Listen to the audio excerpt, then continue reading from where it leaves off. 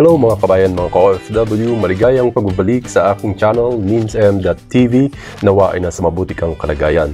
At sa araw na ito ay panibagong update na naman tayo patungkol pa rin sa paglaganap ng novel coronavirus or COVID-19 dito sa Kingdom of Saudi Arabia, kasama na rin ang update sa bansang Pilipinas at sa buong mundo. Pero bago tayo magtungo sa pinaka-highlight ng update natin dito sa Kingdom, ay alam muna natin ang update at kalagayan ng buong mundo. At ayon nga sa last update ng Worldometer ay mayroon ng mahigit 6.3 million na katao ang nagkaroon ng COVID-19 o mga nag-test positive sa virus na ito. Meron ng eksaktong number na naitala na 6,310,892. Samantalang mga kabayan, ang bilang naman ng mga nasawi o nabawi ang buhay dahil sa virus na ito ay meron ng naitala na 374,736. At ang bilang naman ng mga naka-recover, isa ito sa mga good news, na ang balita natin ay pataas pa rin ang pataas. Meron na itong naitala na 2,870,911 na katao ang tuluyang naka-recover sa sakit na ito. At meron naman tayong active cases na patuloy na minomonitor at ginagamot sa iba't ibang bahagi ng mundo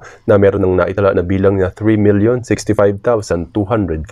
Samantala, ang top 13 countries naman natin sa buong mundo na may pinakamaraming naitala ng COVID-19 cases ay ang mga sumusunod. Nanguna pa rin dito ang bansang Amerika na meron ng naitala na mahigit 1.8 million na confirmed cases at sila pa rin ho ang may pinakamataas na naitala ng bilang ng mga namatay o nasawi dahil sa virus na ito. Meron ng naitala ng mahigit 106,000 na katao. At sumunod naman dito ang Brazil na meron ng mahigit kalahating milyon na confirmed cases na naitala at meron itong naitala ng mahigit 29,000 na nasawi. Ang Russia naman ay nagtala ng mahigit 400,000 confirmed cases at meron lamang mababang kaso na naitala ng mga nasawi. Meron itong naitala ng mahigit 4,000 na katao.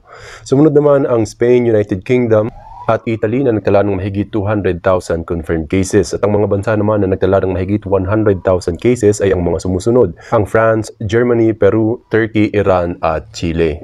At yan nga ang update natin sa buong mundo mga kabayan, mga ka-OFW. Magtungo naman tayo sa update natin sa bansang Pilipinas. At sa araw nga na ito, mga kabayan mga ka-OFW, patuloy pa rin ang pagtaas ng mga naitatalang confirmed cases sa ating bansang Pilipinas. Sa araw lamang na ito ay merong naitalanan naman na 552 na bagong kaso ang naidagdag sa confirmed cases natin sa ating bansa. At ang total confirmed cases na natin Samantala, ang bilang naman ng mga naka-recover o gumaling sa virus na ito sa ating bansang Pilipinas ay mayroon ng naitala na 3,979. At mula naman sa datos na inilabas kahapon, May 31, 2020, ang active cases na itala sa Pilipinas ay, ay umabot na ng 13,220. Ang karamihan pa rin sa mga ito ay under sa mild condition o mga nag-test positive na merong hindi ganong kalubhang mga sintomas ang pinakita. Merong naitala na 12,285. Sumunod dito ang mga asymptomatic o mga nag-test positive sa virus pero walang sintomas na ipinakita na nagtala ng 859. Meron namang 57 na under sa severe condition na mayroong mga malubhang sintomas. At meron tayong 19 na katao ang under sa critical condition na pinapangalagaan sa mga intensive care units natin sa bansang Pilipinas. At yan nga ang update natin sa ating bansang Pilipinas at magtungo na nga tayo sa pinaka-highlight ng update natin dito sa Kingdom of Saudi Arabia kung saan tayo nakadestino bilang isang OFW. At sa araw na ito mga kabayan mga ka-OFW ay unti-unti na namang tumataas ang bilang ng mga naitatalang bagong kaso bawat araw dito sa Kingdom. Dahil sa araw na ito ay mayroong naitala na 1,881 na bagong kaso ang naidagdag sa mga confirmed cases natin dito sa Kingdom of Saudi Arabia.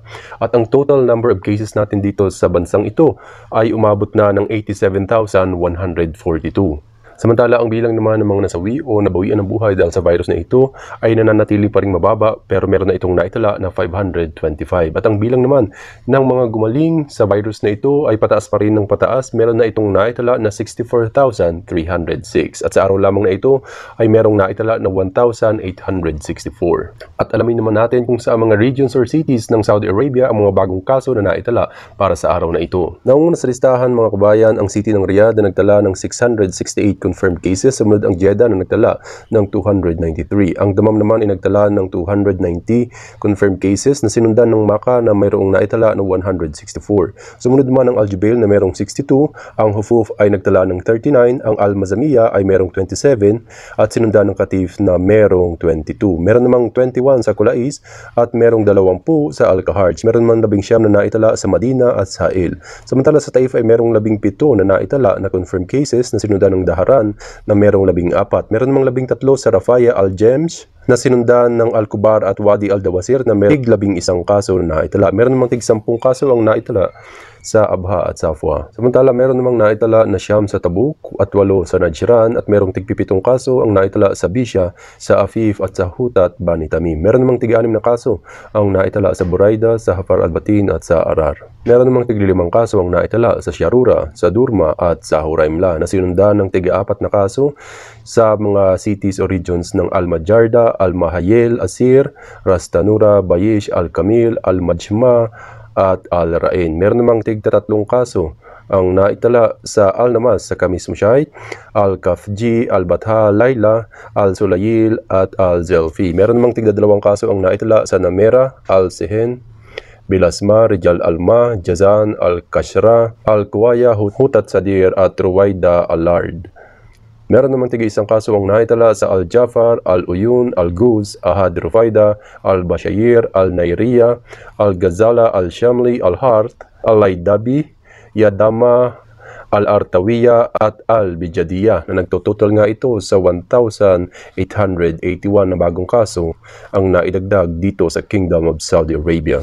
At yan nga mga kabayan ang update natin dito sa Kingdom of Saudi Arabia. Patuloy nga ho ang unti-unti na namang pagtaas ng mga kasong naitatala dito sa bansang ito. Kaya naman ka OFW kabayan ay doble ingat pa rin tayo. Kung hindi naman importante na lumabas ng bahay ay stay at home lang po muna tayo at always i-practice natin ang social distancing sa bawat isa at least 1 meter away mula sa ibang tao. At isang simpleng paraan para makaiwas sa virus na ito ay ang paghuhugas ng kamay. Recommended po ng World Health Organization at Ministry of Health. Kung meron naman tayong katanungan sa Ministry of Health o mga dapat i-report ay tumawag sa kanilang hotline number 937. Kung meron tayong katanungan sa ating embahada o konsulado ay tumawag sa mga numbers na makikita sa screen.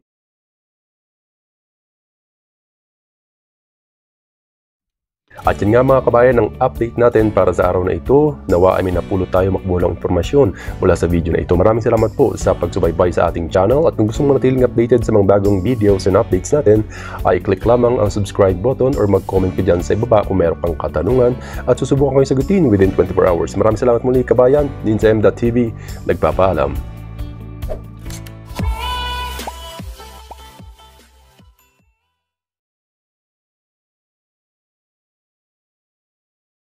Ay, ito na naman tayo sa ating shoutout portion para sa araw na ito. Maraming salamat sa lahat ng subscribers na nag-comment sa ating mga videos at mga nagpapa-shoutout po, sir. Nangunguna sa listahan natin si Monisa Carlos, pa-shoutout po. Simpleng shoutout lang. Shoutout sa iyo, Monisa Carlos. Ingat ka po lagi at maraming salamat sa panonood sa ating mga videos. Next shoutout tayo kay Roman Prangan, pa-shoutout naman po. Simpleng shoutout naman mula kay Roman Prangan. Ingat ka lagi, brother. At next shoutout tayo kay, kay Kabayan Alfred Kasiple, pa-shoutout naman Kabayan. Palagi ako nanonood sa video mo. TY po, Riyadh. Salamat, brother Christian, Kabayan Christian sa panonood sa ating mga videos dyan sa Riyadh. Ingat po lagi and thank you so much again. Next shoutout tayo kay Normaya Maya, isang maiksing shoutout na naman from Normaya Maya. Thank you so much. You take care every day cause I care. Next shoutout tayo. Hmm. Isa na namang parang galit na subscriber natin, naka all caps pero hindi naman dahil nagpapasalamat lamang at nagpapa-shoutout. Shoutout tayo kay Rinaldo Saratobias, pa-shoutout naman po Idol Lins MTV. Always po akong nanonood sa video nyo from Taif, KSA thanks and God bless. Well, Rinaldo Saratobias, maraming salamat sa panonood sa ating mga videos. At ingat ka po lagi dyan sa Taif. Thank you and God bless as well. Next shoutout tayo kay Ahadin Jami, shoutout idol from Al Kubar. Lagi kita inaabangan o isa na namang nag-aabang sa atin. Salamat po sa pag-aabang sa ating mga videos. Wag lang po ako ang abangan ninyo dahil wala pang sahod. Next shoutout tayo kay Romel Golindang, pa-shoutout naman po kabayan, sure. Mr. Romel Golindang, shoutout shoutout to you and ingat lagi. Next shoutout tayo kay Dags Dagohoy, pa-shoutout naman po kabayan sa lahat ng taga Al Kahayat Red Bricks Company, Kulais, Jeddah, Saudi Arabia at Davao from Jeddah, Saudi Arabia. Salamat. Shoutout tayo kay Dags Dagohoy na nanggaling sa Jeddah, Saudi Arabia at nagpapa-shoutout sa kanyang mga kasamahan sa Al Kahayat Red Bricks Company sa Kulais, Jeddah at sa mga kakilala at kaibigan ni Dags Dagohoy sa Davao. Shoutout po sa inyong lahat. Maraming salamat, Sir Dags. And next, shoutout tayo kay uh, Crea Joy Pio. Uh, bangers talaga ako, kabayan, kasi gusto ko na umuwi. Salamat sa update, kabayan. Ingat ka dyan and God bless. Isa na namang taga-abang sa, sa inyong yours truly. Nawa ay uh, sa video lang kayo magabang at wag sa kalsada. Maraming salamat, uh, Ma'am Crea Joy Pio, sa palaging pag-abang sa ating mga updates. Next, shoutout tayo kay Nathaniel Jao, isang suki ng shoutout natin. Shoutout sa'yo again, sir. Nice update sa'yo, kabayan. And pa-shout po. Teka, teka, teka. May mali yata. Siya. teka, teka, ito na ang shout mo. Ah! Yan ang shoutout mo, Sir Nathaniel Jao. Salamat sa panonood sa ating mga videos. And next, shoutout tayo kay Novelin Abale. Pa-shoutout kabayan watching from CDO City. Wow! Malayo pang pinanggalingan ni kabayan from Cagayan de Oro. Salamat, Novelin Abale, sa pagsubaybay sa ating channel. Thank you, thank you. Next, shoutout tayo kay Weng Mariam. Pa-shoutout sir, lagi po akong nanonood. Subscriber niyo po ako, Weng Mariam and Sarah. Weng Mariam and Sarah, maraming maraming salamat sa panonood sa ating mga videos at sa pag-subscribe sa ating channel. Isa ka po sa ating mga motivation araw-araw. Salamat po, Weng Mariam and Sarah, and ingat po kayo lagi. And next shoutout tayo, isang malaking shoutout para kay Matthew Holaska Berhes. Shoutout po boss from the mom. Ingat dyan sa the mom, Mr. Matthew. And uh, keep safe and God bless. Next shoutout tayo kay uh, at isang shoutout din tayo kay Trish Juarez Mix Vlog and Beauty Hacks. Shoutout po idol. Well, Miss Trish, maraming salamat sa pagdaan sa ating channel.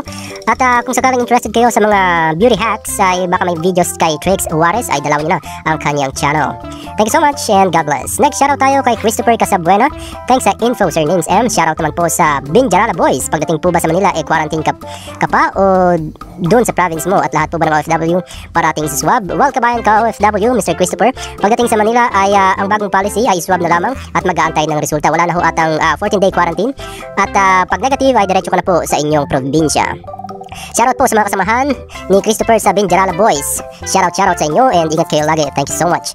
Next shoutout tayo kay Marlon Damlao Pulido Pulido. Mga masyadong pulido to. Shoutout naman po, shoutout naman po sir watching from Riyadh City.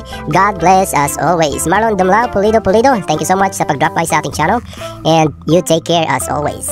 Next shoutout tayo kay Michael David Oiko. Cool information, helpful. Helpful.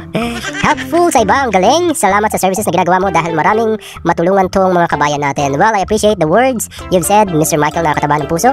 Serbisyong totoo lamang tayo pero hindi tayo kasama sa 24 oras at GMA Kapuso 7. Salamat. Isyong wagas lamang at serbisyong nasa puso. Ingat po lagi and thank you Mr. Michael. Next shoutout tayo, another Michael, Michael Ablog. Shoutout sa you sir, always watching here in the mom. God bless po and ingat din. Sir Michael, shoutout sa iyo, ingat dyan sa the mom. Kung anumang trabaho meron ka, ay uh, doble ingat. Thank you, thank you. Next shoutout tayo kay Divino Lim. Shoutout po here, may shoutout po sir watching from Jeddah. Hi kabayan Jeddah, magkapit bahay tayo, Divino Lim. Nawa ay nasa mabuti kang kalagayan. And next shoutout tayo, uh, bilisan natin dahil uh, marami-rami pa hatang nakapila sa ating shoutout. Jessa Aguilar, shoutout idol from Riyadh. Stay safe din po kayo dyan. Inshallah, salon po kami. Ma'am Jessa Aguilar, nawain na sa mabuti kang kalagayan. Nakalungkot man pero sarado pa rin ho ang ating mga salon and barbershop. So tis-tis lang po muna tayo, kabayan. Ingat ka po lagi, Ma'am Jessa, kung nasaan ka man. Thank you so much. Well, last shoutout na pala yun si Ma'am Jessa. Again, maraming maraming salamat sa nag-drop by sa ating channel at sa ating mga masugid na subscribers sa channel na ito. Maraming salamat. Na-appreciate ko po ang lahat ng inyong mga komento. Binabasa ko po yun sa isa. Minsan ay medyo late nga lang dahil gahol na rin sa oras at medyo busy tayo. Hindi lang ho ito ang ating trabaho, kundi may trabaho rin tayo bisang, bilang isang OFW dito sa Kingdom of Saudi Arabia. Thank you, thank you again and salamat at sa susunod na shoutout natin, abang-abang lang kayo, mag-comment lang kayo dyan sa ating comment section sa ating mga videos. Maraming salamat again mga kabayan, ingat po kayo lagi. God bless to all, take care, cause I care. Bye-bye!